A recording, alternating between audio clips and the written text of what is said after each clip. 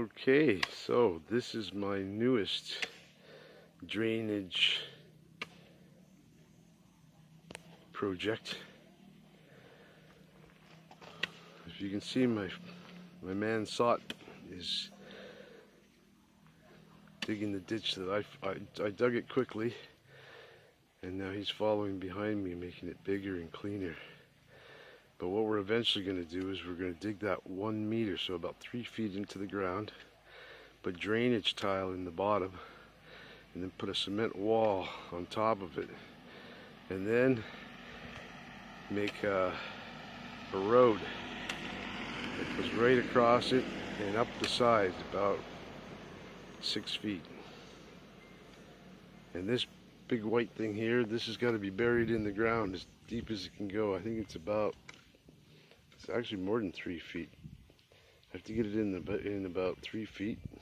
Pump. I got to put a lot of holes in it, and then put it into the ground and backfill it with clear stone.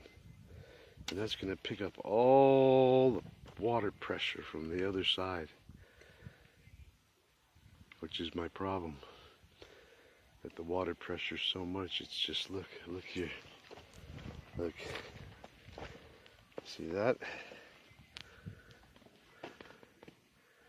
That is water coming out of the swimming pool from the bottom because there's so much pressure down there.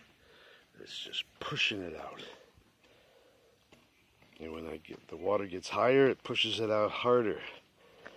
If it gets to the top, it could be like really moving.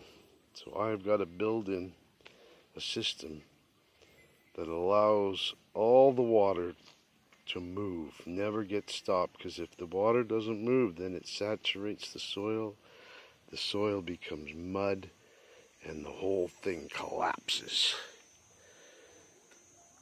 So this is probably the most important part of the project, right here on the bottom of the other side.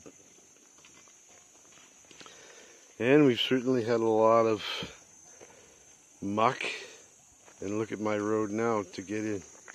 it's a disaster. I can't even get in. And I'm doing all this with only manpower, no machines. Like, I don't know how it's, it's done, but it's done.